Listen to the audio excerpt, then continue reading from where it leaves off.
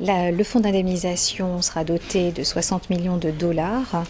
Euh, ça doit euh, être mis à disposition de trois catégories de bénéficiaires. Bien sûr, les survivants, déportés survivants, ceux qui ont été déportés depuis la France et qui sont encore aujourd'hui parmi nous.